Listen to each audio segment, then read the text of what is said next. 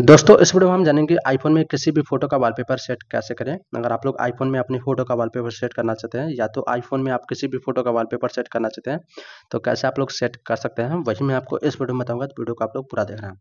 तो अगर आप लोग आईफोन में किसी भी फ़ोटो का वॉलपेपर सेट करना चाहते हैं तो यहाँ पे सबसे पहले तो आपको सेटिंग में आ जाना। सेटिंग में आने के बाद यहाँ पे आपको थोड़ा सा नीचे जाना, जैसे आप लोग थोड़ा सा नीचे जाएँगे तो यहाँ पे आपको एक ऑप्शन देखने को मिलेगा वॉलपेपर का तो आपको वॉलपेपर के ऊपर क्लिक करना।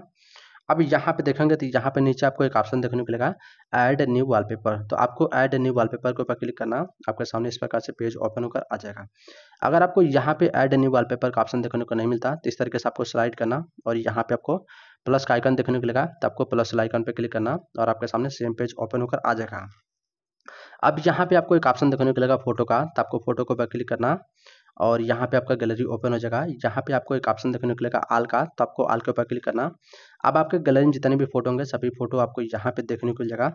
आप जो भी फ़ोटो का आप लोग वॉलपेपर लगाना चाहते हैं, उस फ़ोटो के ऊपर आप लोग क्लिक करेंगे। जैसे मैं इस वाले फ़ोटो का वॉलपेपर लगाना तो यहाँ पे हम इस फ़ोटो के ऊपर क्लिक करते हैं।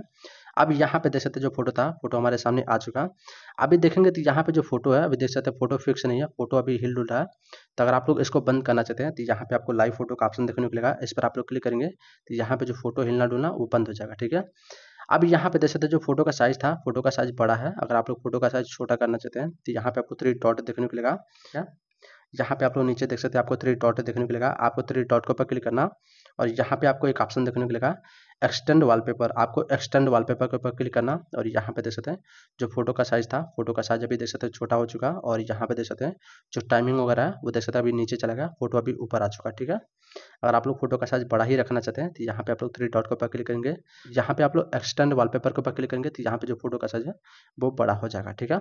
अब यहाँ पे ऊपर आपको ऐड का ऑप्शन देखने को मिलेगा, आपको ऐड के ऊपर क्लिक करना यहाँ पे आपको दो ऑप्शन देखने को मिलेगा। तो यहाँ पे जो सेकंड ऑप्शन है कस्टमाइज होम स्क्रीन आपको कस्टमाइज होम स्क्रीन के ऊपर क्लिक करना। अब यहाँ पे देखेंगे तो यहाँ पे जो हमारा फ़ोटो है देख सकते हैं हमारा फ़ोटो नहीं दिख रहा है यहाँ पे जो फ़ोटो है फ़ोटो ब्लर है तो हम चाहते हैं यहाँ पर हमारा फ़ोटो दिखे यहाँ पे ब्लर न रहे तो इसके लिए यहाँ पे देखेंगे तो यहाँ पे आपको एक ऑप्शन देखने को मिलेगा ब्लर का तो इसके ऊपर आप लोग क्लिक करेंगे तो यहाँ पे देख सकते हैं आपका फ़ोटो दिखना स्टार्ट हो जाएगा एंड अगर आप लोग चाहते हैं यहाँ पर आपका फ़ोटो न दिखे इस तरीके से आपका फ़ोटो ब्लर है तो यहाँ से आप लोग इसको ऑन कर देंगे तो यहाँ पे जो फ़ोटो है वो आपका फ़ोटो नहीं दिखेगा यहाँ पे आपका फ़ोटो ब्लर रहेगा ठीक है तो यहाँ पे हम चाहते हैं हमारा फ़ोटो ब्लर न रहे हमारा फ़ोटो दिखे तो यहाँ पे हम इसको ऑफ़ कर देंगे, ठीक है? अब यहाँ पे ऊपर देखेंगे डन लिखा है डन के ऊपर आप लोग क्लिक करेंगे। जैसे आप लोग डन के ऊपर क्लिक करेंगे तो यहाँ पे जो आपका फ़ोटो है, आपका फ़ोटो सेट हो जाएगा, ठीक है? यहाँ पे देख सकते हैं, हमारा फ़ोटो सेट हो चुका है। तो इस प्रकार से आप लोग आईफोन में कोई भी फ़ोटो को वॉलपेपर सेट कर सकते हैं। तो आशा करता हूँ आपको वीडियो पसंद आया होगा। वीडियो पसंद है, वीडियो को लाइक कर दीजिए।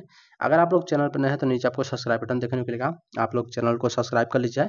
एंड जो उसके बगल में वेल का आइकन देखने को मिलेगा, उस पर क्लिक करके ऑल प्रेस कर लीजिए, ताकि नए नए वीडियो देखकर सबसे पहले